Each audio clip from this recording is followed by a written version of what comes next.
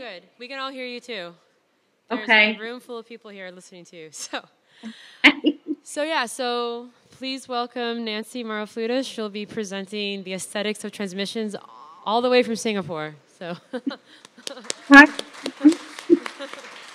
For tuning in, and this is the last slot, um, obviously, so I hope you can bear with.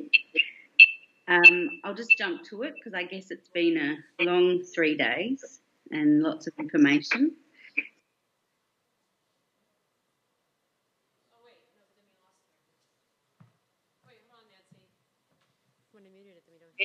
Um, so there's no secret in contemporary culture, you know, that it's obsessed with inspiring, provocative, rising images. But this doesn't adequately acknowledge ubiquity of our network culture in all its manifestations. Um, on the other hand, those who practice and are informed by uh, programming languages of information technology rarely ever see a connection or, or yeah to the visual aesthetic discourse. So in most cases, aesthetic concerns uh, are seen as an anathema or greedy, time wasting, you know, CPU chewing, bells and whistles, the thing you worry about at the end. So this historical conundrum between this, you know, black box uh, duping apparatus and suspicious expertise is located by Barbara Stafford. And she uh, locates this and says that these, that people might be the, the digital mage and proposes their practice might mediate or heal um, this fractured ghettoized area, right? So I'll come back to this in a minute. But transmission, as defined technically, is, as we many of us know probably in the room, is signal from one or many locations by means of signal, light, electrical waves, so on. So that being so, an aesthetic of transmission backgrounds this technical definition and foregrounds the emergent forms which are not premised on the visual but nonetheless less often visually engaging.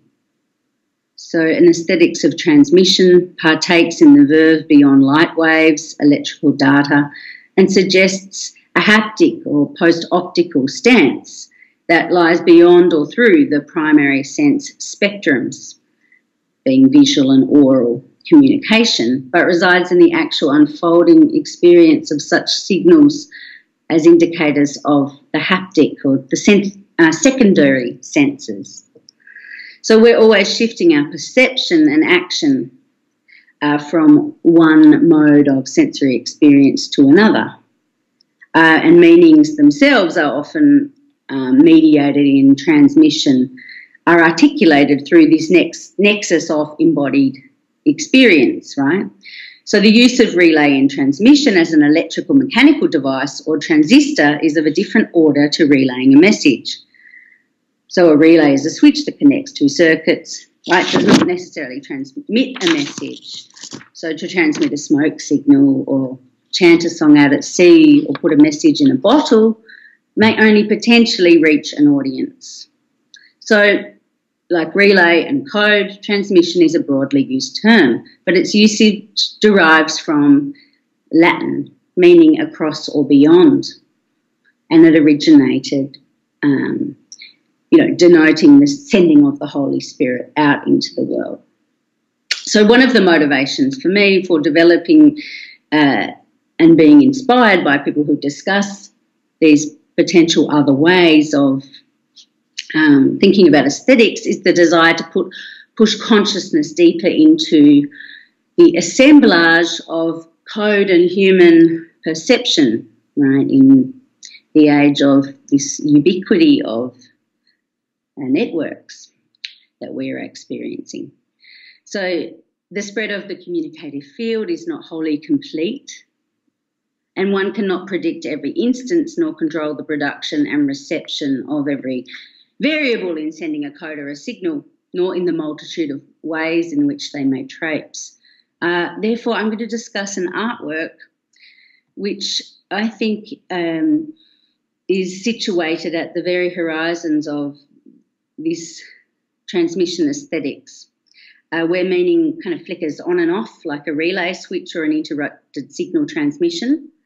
And um, I propose that this aesthetic accommodates this artwork that even deliberately explores such an excess of transmission, a transmission gone um, awry, that is dissonant, does not reach its target, right? So it shape shifts to reach its receiver. So, an aesthetics of transmission assumes that a perfectly pure transmission is imaginary and reverberates in the realm of make believe intermediaries and it serves often indescribable results. So, the position here is to understand both the complexities of the arcane world, which also includes omens, interpretation of forces, uh, vibrations, and other elements, right? In this um, realm, which I can imagine you've been talking about the last few days, where obviously access to the ether is prescribed and commoditized, right? Um, so, in this talk, I'm acknowledging transmission to be many other things than a simple broadcast or a potential message one to one. So, as these signals echo and rebound through frequencies without um, disputing its role of information, this highlights how an aesthetic of transmission is concerned with what transpires when there is interference, acknowledging um, that these gaps scars, interference zones, are access points which actually start an exchange. So the point is that an indefinable transmission uh, signals have the potential to be meaningful in and of themselves as we tune into listening for the sound of our own kindred spirits, a sign meant for us uh, in the telepathic field. This may be momentarily contains the space of your being. And it's not just about becoming visible, which is important, but it's also about refining and those skills or the perception to tune in to remote presences. So, with that said, I want to talk about the apotheosis of the transmission aesthetics, which is uh, this artwork, which many of you might know, delivery from Mr. Assange. And I'll give an account of how I stumbled across it on my um, tuning in moment. So this this work uh, was a 32 hour live telematic or mail art piece um, performed in January 2013. And the reason I found out about it was uh, I just received an email with a very simple URL posted to um, a mail list, which I run with as you can see, this URL. So I followed it to discover this performance unfolding on the project website, which displayed every 10 seconds images from a package travelling from the borough of Hackney addressed to Julian Assange in the Ecuadorian embassy in London. And at the time, everyone was like, what's going on in there? Can you hear me? Yeah, sorry to, uh, to in interrupt you, but Nancy, your presentation is still on slide one, so I didn't know if you oh. That? Yeah, sorry. There we go. Okay. Got it? Yeah. Yeah, now we see it. Just, you just got to put Thanks. it. All right. Where we are. Oh my God, that would have been so boring. I'm so okay. sorry. I should have told you sooner. There you go. I just wasn't sure. Okay. I don't know. Yeah. Just tell me when it stops. So here, here's the email, right? And here's the, uh, I don't know, quote. Yeah, you're, um, good. you're good now. You're good. You, you, you, just have to hit the play button right. on it and then. So here we are. Yeah, we got the email. Right. This is the package. Yeah. So, you know, it's a custom made performance tool consisting of a camera. You can see the dot there, right, which was documenting its journey. And this network performance, the reason I'm referencing this work, which uh, many of you may know about and have, may have experienced as well with me in another uh, continent in, on the planet um, was this was experienced alone in my home in an island south um, of Australia, Tasmania, right, together with a remote audience. So, you know, it soon became clear that many others were engaged in this durational artwork when following the group's Twitter handle and the Twitter feed. Um, you know, so the the artists were clearly, um, you know, providing handles uh, for this experience, right? So, as well as utilising the postal system, this delivery of Mr. Assange inhabits both all of these channels where a conversation took place, fostering kind of a building understanding of what was unfolding as the images were being uploaded to the project site from the parcel as it travelled from the postal network through all of our computers networked simultaneously on another level.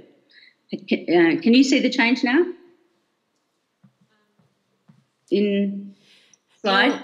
No, uh, nope, it's still on the Bitnik slide. I think you have to hit play on the presentation is all, and then it'll work. I'm going to do uh. Can you see it now? Yeah.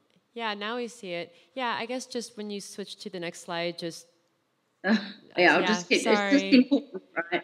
Because this, uh, these tableaus are important.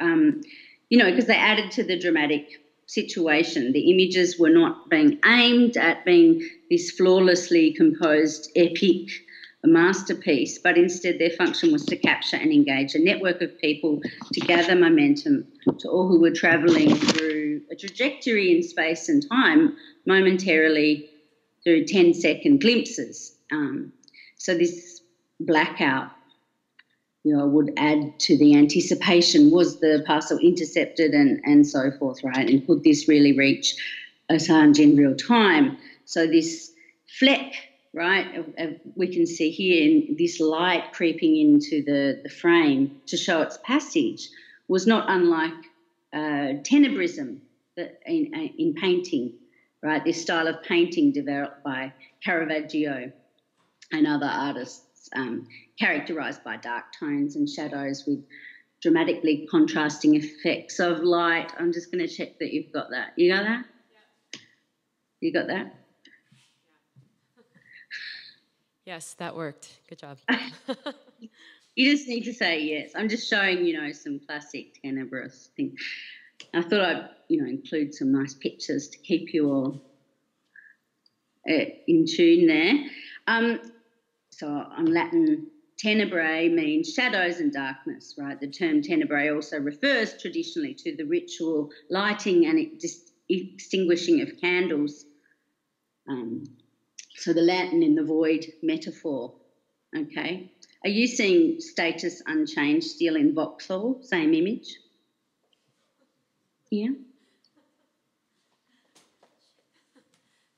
All right. Yes, Nancy, Just, we are. Sorry, okay. I have to come. up.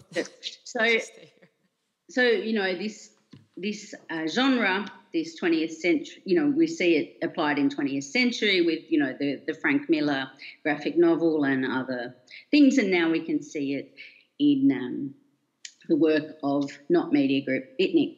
So now we can understand, hopefully, how uh, thoroughly that this um, tenebrous application played into this networked artwork. So here's some of the short excerpts. Um, so another angle of, of how the work unfolded for the people that um, haven't seen this work. Right, so you know, there's light again, there's blurred images, right? So it's not, as I mentioned, worrying about this um, epic masterpiece kind of image. It's like a sequence, it's a performance unfolding in a kind of tableau, series of tableaus. So, right, another interesting thing is when the parcel arrived at the embassy, the way that um, the target came to receive it revealed the beauty of transmission aesthetic as well right? So it was a live unfolding, um, and the receiver began to play along with the package as a live performance tool and a communication system for obviously more tactical things. But this is the precise combination of what makes this piece for me an apotheosis of the uh, aesthetics of transmission. So the the parcel clearly um, arrived into the hands of Assange, and he aimed the mini camera, bringing in the frame and bringing in, you know, a picture of a tiger. I'm just doing this so it reboots the stream or whatever it is. Um, it, you know, then a puppet, then a cow, and then then he began to um, transmit his political slogans, right? So at first it was a playful engagement, which was uh, important to uh, the aesthetics of transmission that I'm talking about here today. But you know, this this influences how we are naturally inclined to interact and use these technologies, and how these interactions um, have an impact rather than this, you know, direct a message. So, offering a counterpoint to a one-way transmission. Um, so in this way, you know, the audience had a topical reason for tuning into the artwork and it corresponded with the desire of the people addressed through this open participatory nature for those who knew about this situation and also the chance meeting in this ambient kind of subculture or computer subculture communing together across time zones, borders, and realm, um, removed from this purely aesthetic abstraction, but made comparable to the concrete context of the spectator experience in this critical reception, right, in favour of, um, rather than identification per se, it was more in favour of the vast understanding and awareness of what communion may mean in the 21st century, right? Um, I'm just doing that. So rather than, you know, the epic optical masterpiece, this idea of awareness and vast um, understanding. Okay, so this uh, aesthetics of transmission opens to the spectator to other times and registers of existence and entanglement of experience. So, in a similar way, you got that Adrian Mackenzie wirelessness opens the spectator to other times, and um, he conceives wirelessness as this entanglement of experience, right? That um, effervesces or foams rather than flows in a one way direction.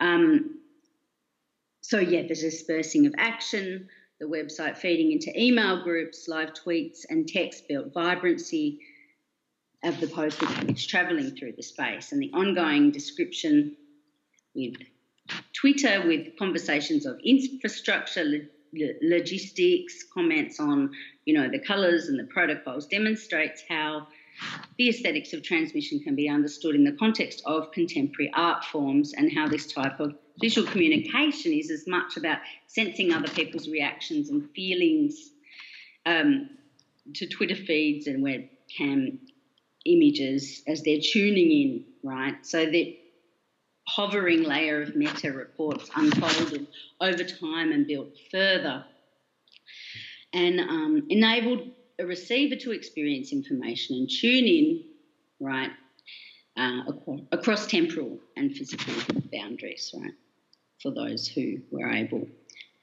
So the active transmission is never simple because it subverts and destabilizes a relationship between the emitter and receiver. But um, the meaning frequently oscillates between points of understanding. So, this is what makes it significant uh, is that the audience members who were close in terms of uh, distance and those who were able to tune in to many other remote presences, um, you know, shows the importance of these this cultural performance and this embodied subject in the practices, media's, media and conceptual frameworks that make up contemporary art forms. So the aesthetics of transmission is not about simply seeing writing, but experiencing connections and movement patterns and mixed realities. So um, it highlights this haptic mode of perception And, um, you know, I, am arguing that it's maybe even more relevant to contemporary art forms nowadays than this traditional scopophilic modality of viewing art per se. So, this haptic perception of an artwork privileges this way of being. Um, so, in that sense, um, this I hope you know I've introduced some questions about uh, assumed aesthetics and the acknowledging, you know, the acknowledging of the network apparatus emphasises this overdue perceptual shift in reception and these omnipresent uh, transmissions and signals. Uh, you know, even perhaps a new kind of fictocritical species that exist within us, forming new habitats, drives, forms, structures, and cosmographies. So I leave you there because I think um, we might have had a long three days and I'm open to questions. I don't know how much of that you got or not. yeah, Nancy, that must have been really, it's always difficult to do a remote presentation, but thank you for staying up until the middle of the night to do it. Um, does anyone have any questions for Nancy? I think we're I think you covered it all for us. Yeah.